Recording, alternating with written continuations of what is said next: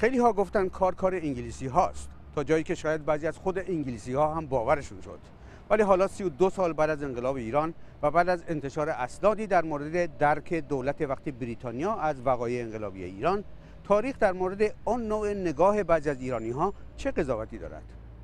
مهمان من که حالا عضو مجلس لردهای بریتانیاست بیش از هر سیاستمدار دیگری در بریتانیا در جریان وقایع انقلابیان روزهای ایران بود.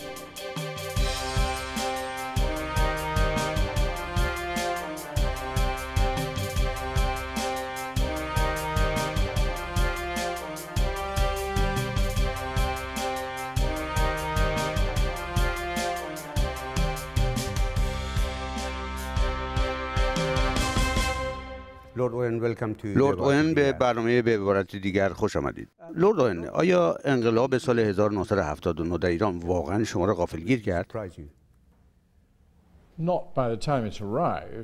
در آن زمان که رخ داد خیر. اما مسلم است که در سال 1977 و در هنگامی که در کادر پیمان سنتو با مقامات ایران و با شخص شاه ملاقات کردم تصور نمی کردم که شاه ظرف دو سال سقوط خواهد کرد. برای اینکه شما اطلاعات درستی نداشتید.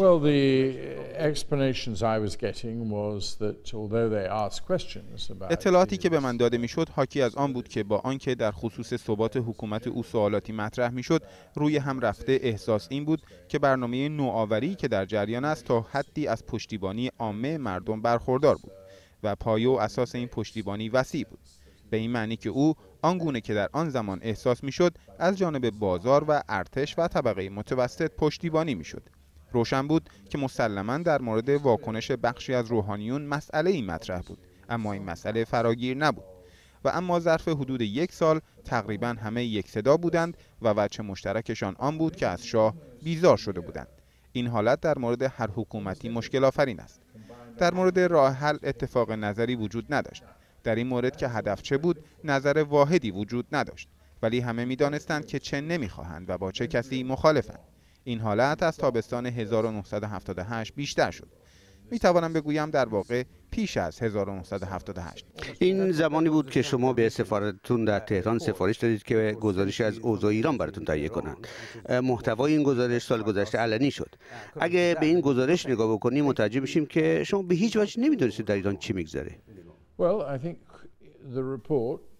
من فکر می کنم گزارشی که من سفارش دادم بازتابی بود از چگونگی نگرش من به واقعیت. من پزشکم. سنت پزشکان می توان گفت سنت نیک پزشکان آن است که پس از وقوع هر مرگی کالبد چکافی می کنند بدین ترتیب تحقیق می شود که بیمار به چه دلیل فوت کرده. میکوشید از اشتباهات گذشته درس بگیرید و به نظر من اینطور می رسید که می بایستی از بعضی از اشتباهات گذشته درس بگیریم. ممکن است بسیاری از ایرانی ها فکر کنند که سازمان اطلاعات مخفی بریتانیا MI6 از حد اعلای قدرت برخوردار است چون فکر می کنند که ما مصدق را سرنگون کردیم. در واقع پای سازمان CIA و نیز پای علتها و عاملهای دیگری هم در میان بود ولی برای ما قدرتی تصور می شود بیش از آنکه در واقع داریم. یکی از پیامدهای سرنگون کردن دولت مصدق آن بود که در سال 1956 دولت وقت بریتانیا به شاه گفت که ما هرگز در امور ایران مداخله نخواهیم کرد. بعد ما پای سازمان اطلاعاتیمان MI6 را از ایران بیرون کشیدیم و در نتیجه از فعالیت هیچ سازمان اطلاعاتی در ایران برخوردار نبودیم. با نگاهی بر آنچه گذشت می‌توان گفت که این اشتباه بزرگی بود. ما حتی خروج نفرات نظامی همراه با وسایل نظامیشان را نشانه ای از لزوم تحقیق درباره اوضاع تلقی نکردیم. بنابراین ما میزان پشتیبانی از شاه در میان افراد نظامی را بررسی نکردیم و چنین پیش بینی می‌کردیم که شاه اقداماتی در پیش خواهد گرفت تا بتواند با اوضاع مقابله کند. در اواخر سال 1978 و اوایل 1979 دریافتیم که چنین تمهیداتی یا اقدامات احتیاطی در میان نبوده است. هنگامی که تأسیسات نفتی دستخوش اعتصاب شد درآمد و تولید سریعا کاهش یافت و کشور سخت آسیب پذیر شد. ولی انتقادی که عنوان میشه اینه که دخالت دولت‌های خارجی به خصوص دولت بریتانیا در ایران از سالها قبل از انقلاب اسلامی در ایران در میان بوده. به طور کلی انتقاد اینه که بریتانیا در سرنگون کردن دولت مصدق که منتخب مردم بود نقش عمده ایفا کرد و بعد به شاه کمک کرد که نه به یک پادشاه مشروطه بلکه به یک دیکتاتور تبدیل بشه. من شخصا انتقاد مربوط به سرنگون کردن دولت مصدق را میپذیرم. فکر می کنم که فرصتی بود که حتی با فرض درست بودن برگرداندن شاه دولت بریتانیا میبایست به او می‌گفت که زمان آنکه پادشاه همه کار باشد سپری شده و باید حرکتی در جهت دموکراسی صورت گیرد. و اما تا آنجا که قضیه به دوران خود من مربوط می شود من فقط یک الگو برای ایران در ذهن داشتم. این الگو عبارت از آن بود که ما باید کمک کنیم تا ایران در جهتی حرکت کند شبیه به آنچه در اسپانیا در پایان دوره رژیم فرانکو اتفاق افتاد. این الگو عبارت از آن بود که پادشاه عامل ثبات ولی فاقد قدرت باشد. در واقع در یک مرحله پادشاه اسپانیا علیه نظامیان وارد عمل شد تا جنبش دموکراسی را در اسپانیا برقرار نگاه دارد. در مورد ایران یکی از راههای پیمودن چنین مسیری آن می بود که این نکته برای شاه تصریح شود که فرزند او از قدرتی که او از آن برخوردار بود نباید برخوردار باشد و چنانچه فرزند او جانشینش شود پادشاهی مشروطه خواهد. و اما نکته آن است که ما از یک واقعیت مهم بی اطلاع بودیم و این واقعیت تعمدن از ما پنهان نگاه داشته شده بود. این واقعیت آن بود که پزشکان از سال 1973 تشخیص داده بودند که شاه مبتلا به اختلال خونی مهمی بود که به مرگش می انجامید. نکته آن است که تصمیم آگاهانه شاه آن بود که از پزشکان انگلیسی یا آمریکایی استفاده نکند. او به سراغ پزشکان فرانسوی رفت. من شک ندارم که یکی از علل پنهانکاری آن بود که اگر من و وزیر خارجه وقت آمریکا این را می‌دانستیم ترتیبی می‌دادیم که شاه ایران را به دلایل پزشکی ترک کند در این صورت بهانه‌ای برای دور نگاه داشتن شاه از تلاطم سیاسی و از مخالفانش به وجود می آمد. دوره انتقالی آغاز می شد و شاید یک شورای سلطنت وظایف شاه را عهدهدار می شد تا مسیری مثلا شبیه به آنچه در اسپانیا رخ داد پیموده شود. البته ما قدرت مطلق نداشتیم که چنین مسیری را اعمال کنیم. اما چنانچه این مسیر را با شدت بیشتری تشویق می کردیم بیشک باز هم ایران به سوی برقراری جمهوری اسلامی حرکت می کرد اما یک زیربنای درست دموکراتیک می داشت من شخصا معتقدم که حتی هنوز هم راه درستی که در برابر ایران قرار دارد همان است. اونطور که من یادم میاد البته ممکن من اشتباه بکنم ولی حتی در روزهای انقلاب و حتی قبل از اون وقتی که شما در یکی از مسابقه تلویزیونی در مقام وزارت خارجه گفتید که کسانی که تصمیم گرفتن از شاه پشتوانی نکنند سخت در اشتباه. You said that uh, they are profoundly mistaken. بله من حتی یک کلمه از آن مصاحبه را حاضر نیستم تغییر دهم. من در آن هنگام هشدار دادم که چنانچه انقلابی درگیرد چه بر سر حقوق بشر خواهد آمد. از آنچه در انقلابهای اروپا رخ داد اطلاع داریم. انقلابهای زیادی در اروپا دیده ایم. انقلاب فرانسه را دیدیم. موارد سهمگین نفی حقوق بشری را در دنباله انقلاب کمونیستی روسیه مشاهده کردیم. بنابراین واقعیت کمونیسم را دیدیم من از این بخت برخوردار بودم که در تمامی دوره حیات اتحاد جماهیر شوروی سابق زندگی کردم و به علاوه سقوط کمونیسم و برقراری آزادی در اروپای شرقی را هم دیدم من از ریشه و اساس دموکرات باقی ماندم من فکر می کردم که اگر خمینی بر مسند قدرت بنشیند تندروی به دنبال خواهد داشت. پیش بینی نمی کردم که ماجرا به گروگانگیری در سفارت آمریکا بیانجامد.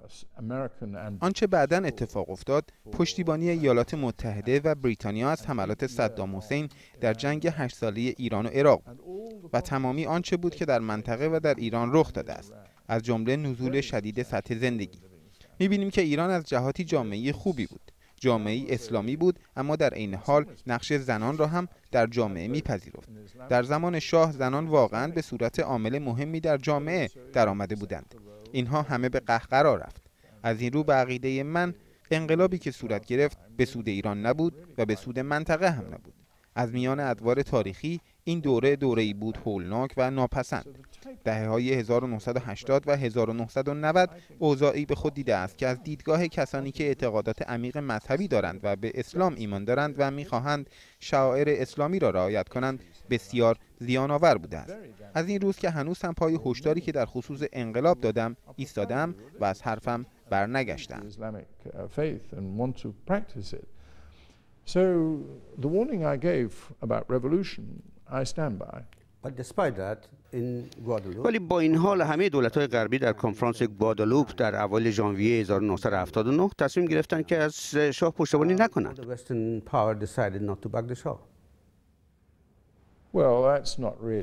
در واقع چنین نیست. در کنفرانس گوادلوپ رئیس جمهوری فرانسه، صدر اعظم آلمان، کارتر رئیس جمهوری آمریکا و جیمز کالاهان نخست وزیر بریتانیا گرد هم آمدند و درباره ایران به بحث پرداختند. اما در آن زمان کاملا روشن بود که شاه در آستانه سقوط است. در این جهت کوششی در میان نبود. به یاد دارم که در ماه نوامبر آن سال گفتم که آنچه می رود که رخ بدهد رخ می دهد و ما نمی توانیم بر سیر این جریان اثری بگذاریم. عقیده من آن بود که اگر مردم ایران بخواهند این انقلاب را مهار کنند شاید چنین کنند. اما این امری است بسیار نامحتمل. ما بر سر این حرف ایستادیم. آمریکایی ها بر سر اینکه آیا می توانند مداخله کنند یا نه بحران کوچکی را از سر گذراندند. تصمیم گرفتند که مداخله نکنند و به عقیده من تصمیمشان عاقلانه بود. ولی دیگر دیر شده بود. دیر شده بود. نمی‌شد شاه را از آن ورطه نجات داد. مسلما از نوامبر 1978 به بعد دیگر نمی‌شد چنین کرد. و ما چاره ای نداشتیم جز آنکه تحولی را که رخ می‌داد بپذیریم. تا ماه نوامبر 1978 ما هنوز امید داشتیم که بتوان آن جریان را متوقف کرد. و یکی از انگیزه های من در خصوص آنچه که در ماه سپتامبر آن سال در تلویزیون گفتم آن بود که بکوشم تا شاید مردم را متقاعد کنم که انقلاب راه حل نیست. انقلاب واکنشی بود که می‌شد انتظارش را داشت. واکنشی ناشی از ناخرسندی از آنچه در تحت حاکمیت شاه رخ می‌داد. واکنشی ناشی از وحشت و ناراحتی و خشم در برابر رفتار ساواک. تورم پولی به کاهش سطح زندگی می انجامید و این نکته در مورد ساکنان بسیاری از شهرها به ویژه تهران صادق بود. مردم شاه خیشاوندان و دوستانش را می‌دیدند که در ناز و نعمت به سر می‌برند. تمامی اینها به پدید آمدن اوضاع و احوال انقلابی انجامید. در این خصوص شکی در میان نیست. آیا ما میبایستی از پشتیبانی از شاه دست برمی داشتیم بقیده من به هیچ وجه نمی‌شد چنین انتظاری داشت. هیچ یک از ما چنین نکردیم. نه آمریکا نه فرانسه نه آلمان و بسیاری از کشورهای اسلامی هم چنین نکردند. وظیفه من آن بود که نسبت به خطرات انقلاب هشدار بدهم. و در این مورد چنانچه پیشتر گفتم از گفته اولیه هم به هیچ وجه بر نمیگردم. ولی حتما می‌دونید که خیلی ها که بیشترشون از سلطنت طلب ها هستند و حتی خود شاه در یکی از آخرین مصاحبه هاش فکر می‌کنم در پاناما بود که لب مطلبش این بود که همه این ماجرای انقلاب ایران توطئه غرب بود برای سرنگون کردن او.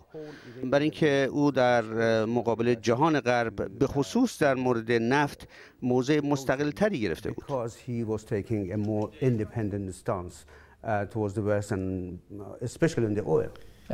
این حرف معقولی نیست. این همان تئوری توته است. ما از سال 1956 به بعد اعمال نفوذ واقعی بر شاه را کنار گذاشته بودیم و به عقیده من این کارمان درست نبود. به علاوه این را فراموش می کنیم که شاه مرد تصمیم گرفتن نبود و از قاطعیت برخوردار نبود.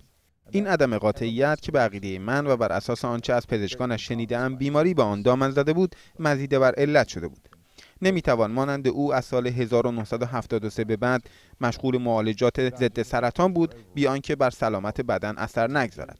او این دست و دست می‌کرد و به این سوی آن سوی می‌رفت و دور می‌زد. در این حال این هم درست است که ما اشتباهات بزرگی مرتکب شدیم و من شخصا اشتباهات بزرگی مرتکب شدم. بقیده من بسیار لازم است که کوتاهی های خود را دریابیم و در این خصوص علنا بحث کنیم. من عقیده دارم که ایرانیان باید از این بابت خرسند باشند زیرا معنای این نکات آن است که بریتانیا نگران ایران بوده و در عمل بین ما و ایران پیوند برقرار است. این واقعیت که ما حاضریم به اشتباهاتمان اعتراف کنیم نشان می‌دهد که ما می توانیم در آینده مفید واقع شویم. من مایلم بار دیگر ایرانی ببینم موفق و بدون هیچ گونه تحریم. من مایلم ایران را کشوری ببینم که بر ایمان اسلامیش ارج می نهد. به هیچ وجه مایل به مداخله در امور ایران نیستم. اگر ایران مایل است که کشوری اسلامی باشد این فقط به ایرانی ها مربوط است. ولی مسلما نمی‌خواهم ایرانی ببینم که به دنبال سلاحهای هسته‌ای باشد یا ثبات همسایگانش را تهدید کند. می‌بینید که همسایگان عرب ایران با چنین روندی مخالفند. من مایلم که در این منطقه دوستی بسیار عمیقتری ببینم و شاهد حسن همجواری باشم. نظرات شخص شما لرد اوین خیلی روشنه و حالا همون نظرات رو گفتید. ولی درباره نظر دولت‌های غربی چی؟ آیا واقعا اون درسی که شما میگید گرفتن؟ مطمئن نیستم. می‌دانید که این را نمی‌توانم پاسخ دهم. اما می توانم بگویم که به نظر من اشتباه بزرگی خواهد بود اگر اسرائیل علیه تأسیسات هسته ایران حمله بازدارنده صورت دهد و همچنین اشتباه بزرگی خواهد بود اگر دولت ایالات متحده بر چنین اقدامی از جانب اسرائیل انگشت تأکید بگذارد و آن را امکان پذیر سازد. با آنکه جهان غرب به طور کلی نگران است و با آنکه ما نگران هستیم و عقیده داریم که چنانچه ایران سلاح هسته‌ای بسازد مرتکب اشتباه بزرگی شده است چنانچه بخواهیم این قضیه را با اقدام نظامی حل و فصل کنیم مرتکب خطا شده ایم. با توجه به اینکه تحریم های شدید علیه ایران ادامه مییابد و شدت بیشتری می‌گیرد ایران باید دریابد که روسیه نمی‌خواهد ایران به سلاح ای دست پیدا کند و چین هم چنین چیزی نمی‌خواهد. چنین تحولی اثرات بسیار نامطلوبی بر روابط ایران با کشورهایی خواهد داشت که روابط بازرگانی خوبی با ایران دارند و تحریم های بین المللی را نادیده می‌گیرند حالا که شما مسئله انرژی هسته ایران رو مطرح کردید باید بگم که انواع گوناگونی از پیشنهادها ارائه شده. طبق اونچه شما اشاره کردید از بمباران تاسیسات هسته ای گرفته تا من به شدت با چنین اقدامی مخالف دقیقا بعضی ها برعکس این پیشنهاد رو مطرح می‌کنن که ایران باید به عنوان یک قدرت منطقه‌ای شناخته بشه و ایران بالقوه این خاصیت رو داره که بتونه یک متحد استراتژیک غرب باشه. این نکته است که تصمیم گیری درباره آن با ایران است. ایران یک قدرت منطقه است. ایرانی ها توانستند با شجاعت بسیار و با از خودگذشتگی در برابر حملات عراق بیستند. ایرانی ها این کار را به تنهایی و با تکه بر خودشان انجام دادند. اما می توانم بگویم که جهان غرب به عقیده من به گونه ای عمل کرد که در خور سرزنش است. ما عملا ایران را به حال خودش گذاشتیم تا از خودش دفاع کند و امیدوار بودیم که در آن میان شور و شوق انقلابیش تضعیف شود. این کار غلطی بود. ایران هدف تجاوز قرار گرفته بود و سازمان ملل متحد در خصوص تجاوز قواعد روشن و مشخصی دارد. همان گونه که ما در قضیه تجاوز عراق علیه کویت واکنش نشان دادیم میبایستی وارد عمل می شدیم تا از تجاوز عراق علیه ایران جلوگیری کنیم. برای ما مایه شرمساری است که چنین نکردیم. این ماجرایی بود بسیار بسیار ناپسند. فرض کنیم که همه این تحریم ها و فشارها بلا اثر باشه. به نظرم نمی‌رسه که در حال حاضر اثر بخش باشه. و در نهایت امر ایران به یک کشور مجهز به سلاح هسته تبدیل بشه. اون وقت تکلیف چیه؟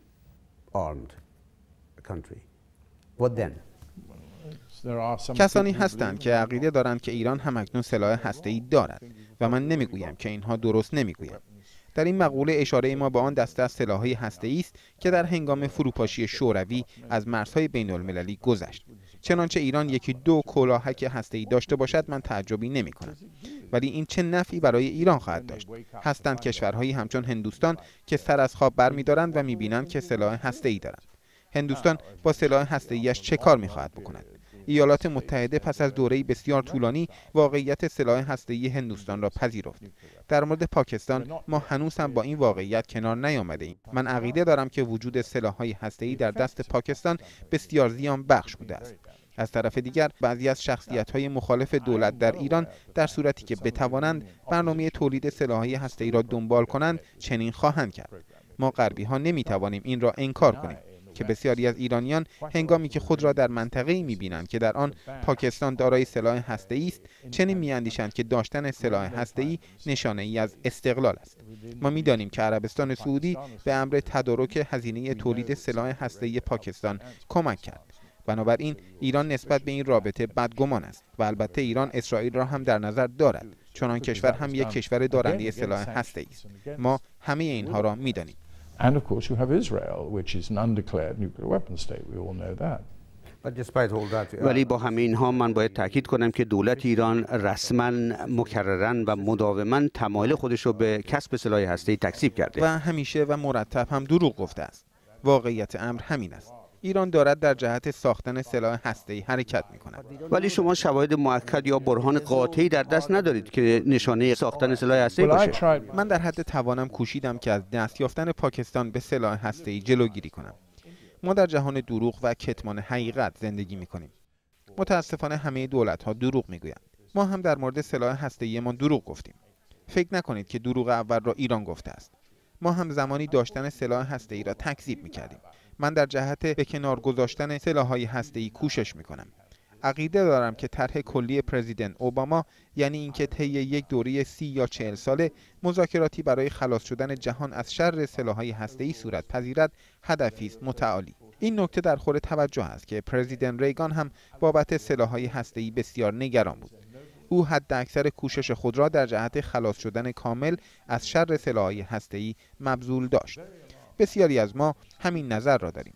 شخصا خود را به سلاحهای هسته‌ای بسیار نزدیک یافتم زیرا زمانی وزیر نیروی دریایی و زمان دیگری وزیر امور خارجه بودم. اشخاصی مانند من هنگامی که این گونه توانایی را در دسترس خود می‌بینند از خود می‌پرسند که می‌خواهند با این توانایی چه کنند و این را هم باید در نظر داشته باشیم که با خطر بروز اشتباه در این زمینه روبروییم من گمان نمی کنم که سلاح هسته‌ای حتی ذره‌ای به ثبات یا بر قدرت ایران بیافزاید. قدرت ایران ناشی از این واقعیت است که یک ارتش بسیار بزرگ دائمی در اختیار دارد و به رغم تحریم ها توانسته که نیروی دریایی و نیروی هوایی بسیار کارآمدی تدارک ببیند. این کار را با این هدف انجام داده که از خود محافظت کند و این حق مسلم ایران است. ایران کاملا محق است که وسایل هسته‌ای غیر نظامی داشته باشد. غنیسازی اورانیوم فی نفسه حق ایران است. آنچه مورد سوال قرار می‌گیرد آن است که چنانچه سلاحهای هسته‌ای تدارک ببیند آیا به امر صلح در خاورمیانه کمک کرده است؟ گمان نمی کنم که گوش ایران به این حرفها بدهکار باشد. چنین فکر می کنم که ایران سلاح هسته‌ای را کسب خواهد کرد و جهان باید با این واقعیت کنار بیاید. اما ایران ضمن پیمودن این مسیر بیش از پیش منزوی خواهد شد و بیش از پیش از رهگذر تحریم ها آسیب خواهد دید. که چه؟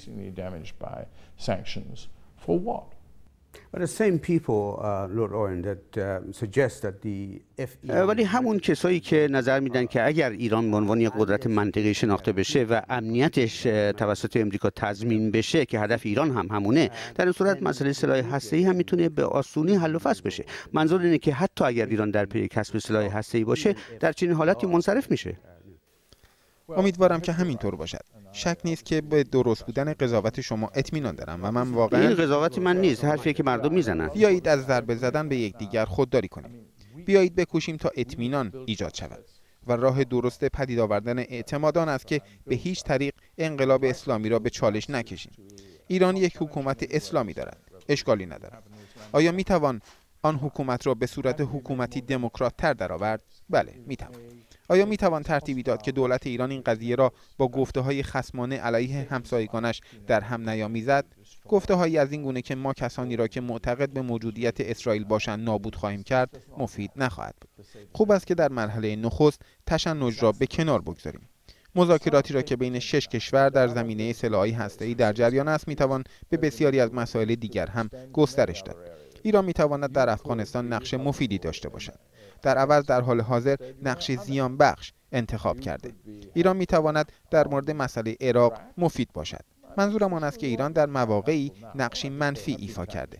اما فکر می کنم که نشانه هایی هست که اشاره به آن دارد که ایران رفته رفته در میابد که ثبات عراق به نفعش خواهد بود. و شک نیست که ثبات افغانستان هم به نفعش خواهد بود. اکنون اگر بتوانیم تماسی یا گفتگویی سازنده در این خصوص برقرار کنیم که راه های تقویت ثبات در عراق و در افغانستان چیست؟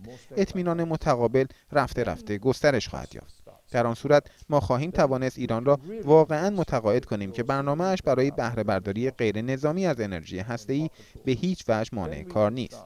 در آن صورت ما درک خواهیم کرد که ایران محق است که نیروی هسته‌ایش را گسترش دهد. واکنش ما غربی ها هم در برابر کمک چین و روسیه به امر سلاحهای متعارف ایران کمتر خسمانه خواهد بود. در چنین اوضاع و احوالی تحریم های اقتصادی رفته رفته کاهش خواهند یافت.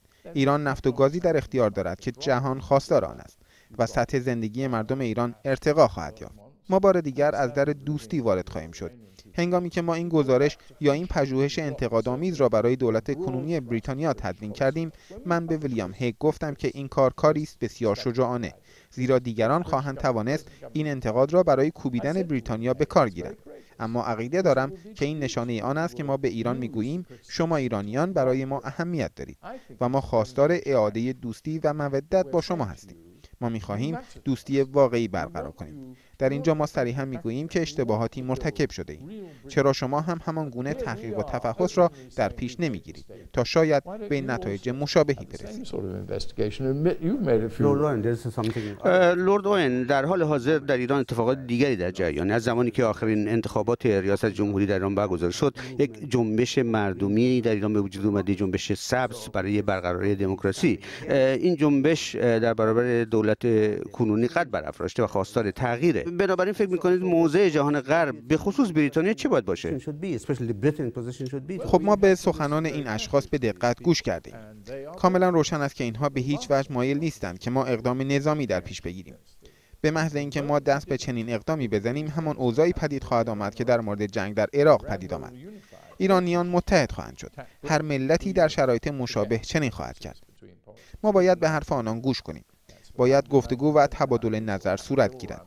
باید نظرات ایران را درک کنیم و این را دریابیم که چه می‌خواهند. باید به این نکته که حقوق بشر بسیاری از مردم توسط رژیم شاه پایمال شد توجه کنیم و همچنین دریابیم که آنچه انقلاب را تقویت کرد تا حد زیادی عبارت بود از آرزوی واقعی در جهت کسب آزادی بیشتر و آرزوی واقعی برای پدید آوردن یک جامعه بهتر. او سخن از تمدن بزرگ به میان می آورد و نیز از نوآوری سخن می گفت ولی جامعه جامعه ای بود که در آن دارندگان ثروت و نفوذ در همان موضع ثروت و نفوذ باقی ماندند. عده کثیری از مردم چنان درآمدهایی نداشتند و حس می‌کردند که از بابت ثروت نفت بهروزی نصیب آنان نشده اکنون اگر ما ریشه های انقلاب را بهتر دریابیم و به جنبه های مثبت آن توجه کنیم و جنبه های مثبت در واقع کم نبود می توانیم نشان دهیم که برای دین اسلام احترام قائلیم. از این روز که امیدوارم که گزارشی که سی سال پیش دستور تدوینش را دادم و اکنون بابت انتشار آن از ویلیام هیگ و دولت جدید ائتلافی حزب محافظه کار و حزب لیبرال دموکرات سپاس گذارم شاید بتواند آن لحظه نمادین را به ارمغان آورد. آن لحظه نمادین را که همه ما درک کردیم که همه ایمان اشتباهاتی مرتکب شده ایم و حاضریم که از اشتباهاتمان عبرت بگیریم. لورد اوین خیلی ممنونم که وقتتون رو به برنامه به عبارت دیگر دادید. ما یه خوشبختی من است.